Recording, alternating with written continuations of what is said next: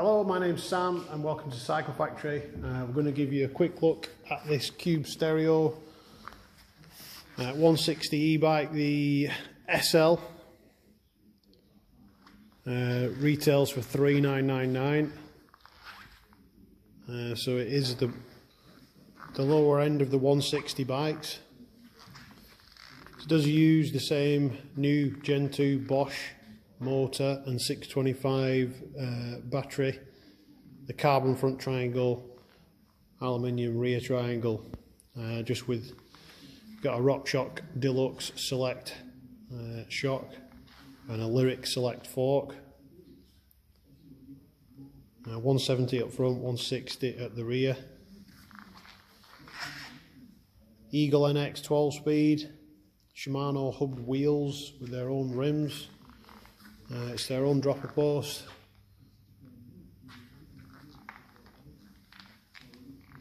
Magura brakes, four pot calipers front and rear,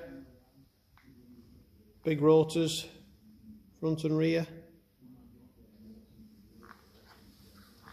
Um, you can see um, it's vastly improved this frame for this year all the cable routing you can adjust the, uh, the dropper post and move the cable in and out no problem. Battery access covers so much nicer. Uh, this is a medium bike. Got a large one over here. Show the other side. So nice uh,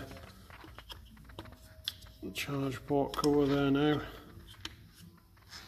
and supplied with a 4 amp charger so they charge up a lot faster.